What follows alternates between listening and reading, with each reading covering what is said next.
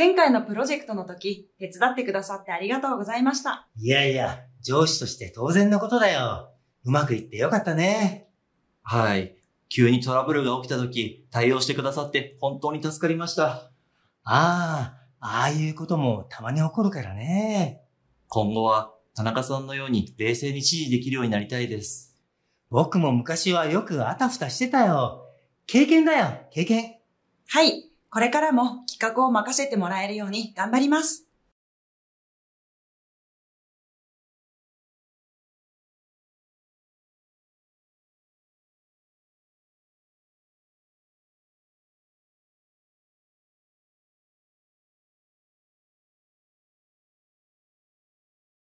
那那么一起来看看，主题是真人绘画哦。今天的题目是感謝を伝える時の表現，表达感谢时的说法有哪一种呢？当然，你马上想到的是ありがとうございます，对吗？但是除了这个以外呢，还有很多更丰富的用词。如果你学会多种用词的话呢，那你的表达方式更丰富。它也是可以按照每一个场合的情况，可以挑选最适合的说法。那么稍微再呃看一下哦， 他说本当に助かりました。本当に感謝しています。什么什么の支えがあったからです。嗯，这些说法你都熟练吗？我们来看看怎么样使用哦。好，第一个好吗？就写对主管说的话。好，那我们看看绘画。第一句。前回のプロジェクトの時、手伝ってくださってありがとうございました。他说，前回のプロジェクト，project 就是所谓的专案的意思。在公司里头，常常会用到 project project。对，每一个方案、每一个专案都会用到这个词嘛，哈。那再来呢，手伝ってくださって，意思是你帮我帮忙的意思，给我帮忙。最基基本的说法就是手伝ってくれてありがとうございました。这个有学过，对吗？くれて的部分呢， 用礼貌一点的话，我们会说手伝ってくださって，可以吗？くれて改成くださって。那再来呢？いやいや、上司として当然のことだよ。うまくいってよかったね。他说いやいや、哪里哪里的时候会说いやいや、いえいえ也可以。再来。上司として当然。这个として就是以什么立场，或者是站在什么什么的立场、身份的意思。所以呢，我身为上司的立场。再来呢，当然のことだよ，这是理所当然的事，是这样子的。所以这句话哦，嗯，特别是后面的当然のことです，这个词也是你可以常常使用到啊。いえいえ、当然のことです。对啊，这是理所当然的事，是这样子的。はい、再来。 うまくいってよかったね。这个うまくいきます就是顺利的意思。所以呢，うまくいってよかったね。啊，真的是太好了，这件事情顺利的进行，或是顺利的结束。所以这个就是うまくいきます。当你在工作的时候啊，可能上司也是偶尔来关心你工作的进度。这个时候会说“ うまくいっていますか？”“うまくいっていますか？”意思就是做的顺利吗？的意思。对，这个就也是一个表示呃确认你的进度顺不顺利时的说法。好，下一个。はい。急にトラブルが起きたとき、対応してくださって、本当に助かりました。他说、急にトラブルが起きたとき、突然发生意外的时候、対応してくださって。这个対応对应，意思就是应付或是解决，或者是面对，有包含很多的意思。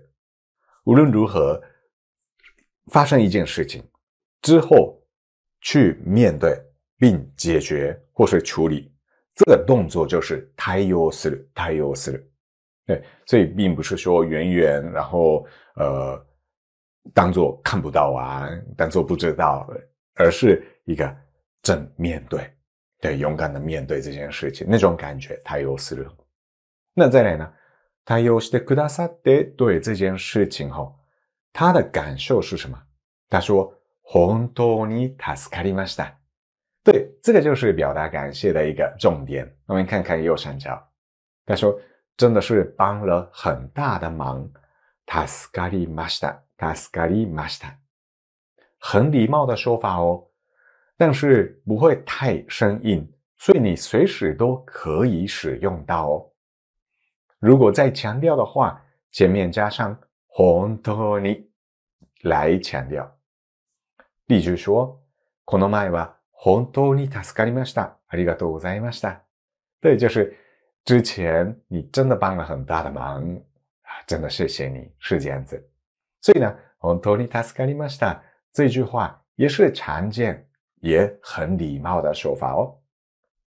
好，下一个啊，ああいうこともたまに起こるからね。ああいうこと就是那样的事情，たまに起こる，偶尔会出现的。的意思。下一个，今後は田中さんのように冷静に指示できるようになりたいです。以后怎么样呢？田中さんのように，像田中さん那样。再来呢，冷静に指示できる。指示指示这个词的意思是什么呢？